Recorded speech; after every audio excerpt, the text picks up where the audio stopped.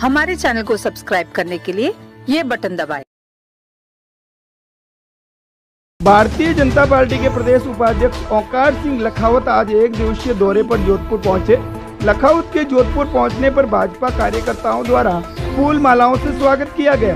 वहीं भाजपा प्रदेश उपाध्यक्ष ओंकार सिंह लखावत ने आज भाजपा के देहात की बैठक को संबोधित किया।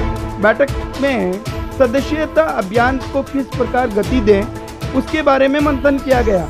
वहीं प्रदेश उपाध्यक्ष ओंकार सिंह लखावत ने कहा कि भाजपा सदस्यता अभियान के लिए लोग आतुर है।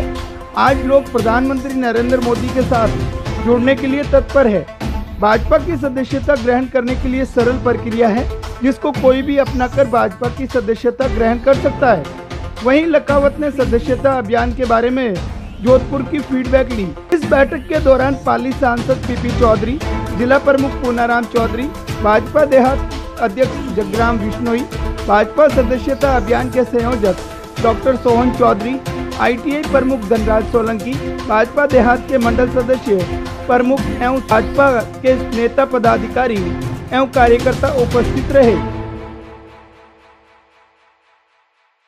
संगठन पर्व चल रहा है और इसलिए पार्टी का विस्तार, पार्टी का हर क्षेत्र में, समाज के प्रत्येक वर्ग में सर्वव्यापी, सर्वस्पर्शी और सर्वविश्वासी पार्टी खड़ी हो। इसके एक अभियान के नाते आज समीक्षा बैठक है, जोधपुर देहात का जो जिला है। इसलिए हमारे जो पदाधिकारी हैं, वो सब उसमें आए हैं और जिन पे दायित्व सदस्यता अभियान का कर रहे हैं। हमने जो लक्ष्य तय किया था, उस लक्ष्य से अधिक सदस्य बनेंगे। अब तक की जो रिपोर्टिंग आ रही है, उसके हिसाब से। और इसलिए राजस्थान देश के अग्रणी प्रदेशों में खड़ा हो। हम उस दिशा के अंदर काम कर रहे हैं और सारे कार्यकर्ता, पदाधिकारी, हमने यूँ कहना चाहिए कि गाँव ढाणी से लेकर मतदान केंद्र तक दायित्व को बांटा है। उनका प्रशिक्षण हमारा पूरा हो गया है, बैठकें पूरी हो चुकी है, इस अभियान में सदस्यता अभियान चल पड़ा है और एक अभिनव प्रकार का प्रयोग है कि आपका मिस कॉल के द्वारा आप सदस्य होते हैं, पर इस बार हम सदस्यता का फॉर्म भी दे रहे हैं। सदस्यता का फॉर्म भी भरवाएँगे ताकि हमारे पास भी एक रिकॉर्ड उसके हिसाब से पहले हो जाएगा। पहले हम मिस कॉल के द्वारा वहाँ से रिकॉर्ड करते थे इंटरनेट के सिस्टम से। इस बार हम एक ये भी प्रयोग इसके साथ में करने जा रहे हैं। पर मैं कह सकता हूँ कि कोई गाँव ऐसा नहीं बचेगा, कोई ढाणी ऐसी नहीं बचेगी, कोई मतदान केंद्र ऐसा नहीं बचेगा, जहाँ भारतीय जनता पार्टी की प्रभावी सदस्यता अभियान पूरा ना हो। समाज का वर्ग भी सब हम करेंगे। महिलाओं में काम करेंगे, युवाओं में काम करेंगे, ओबीसी में करेंगे, किसानों में करेंगे, एससी में करेंगे, माइनॉरिटी में काम करेंगे। और समाज के प्रत्येक वर्ग में हमारा ये प्रयास होगा कि समाज में यदि कोई प्रतिष्ठा वाला व्यक्ति है तो भाजपा में होना चाहिए। हमारा इस दिशा में काम है और ये अभियान हमारा तब तक चलेगा यदि एक भी व्यक्ति हमारे विचार से अनुकूल नहीं है उसको अनुकूल होने तक हमारा अभियान चलता रहेगा। क्या लक्ष्य राजस्थान में अब तक की बात करें देखिए अभी हमारा डबल किया है। पहले हमको सदस्यता के हिसाब से 20 प्रतिशत सदस्य क्योंकि सदस्यता जो पहले बनी थी तो वो हमारी सदस्यता इस चुनाव तक वेद है।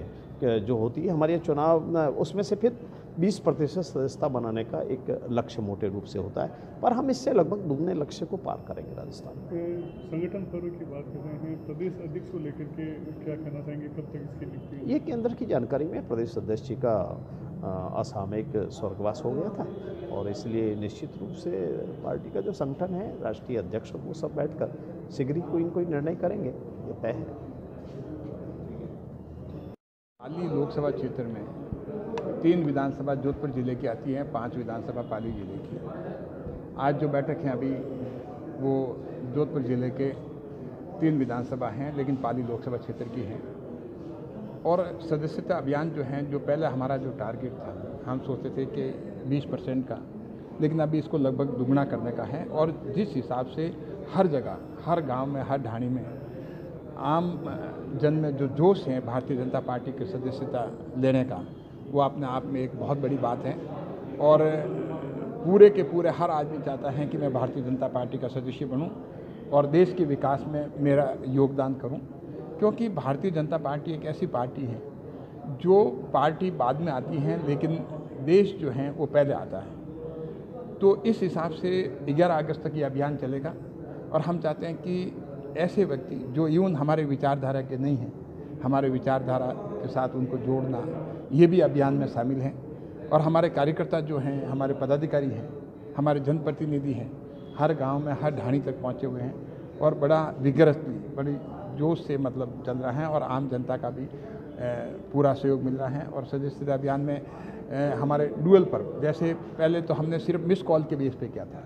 लेकिन अब की बार मिस कॉल के साथ साथ हम फॉर्म भी भरवा रहे हैं जिससे कि हमारे पास हार्ड डाटा भी अवेलेबल रहे कंप्लीट तो ये सारा इस तरह का ये अभियान चल रहा है। पानी की अगर बात की जाए तो पानी की समस्या को लेकर के हालाँकि क्या स्थायी व्यवस्थाएँ शुरू की गई है? क्या इसका कोई स्थायी समाधान देखिए पाली का अभी जो है पाली लोकसभा क्षेत्र भी मान लीजिए और ख़ास करके पाली शहर में पानी की जो किल्लत है बड़ी भयंकर क्योंकि जवई बाँध में अभी डेड स्टोरेज में पानी नहीं के बराबर बचा है और कुछ दिनों का ही है।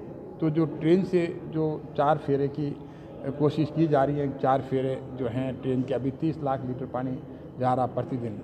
तो ये पानी की जो स्थायी समाधान के लिए जवई बाँध के पुनर्भरण की हो सकती हैं। उसके लिए साबरमती बेसिन में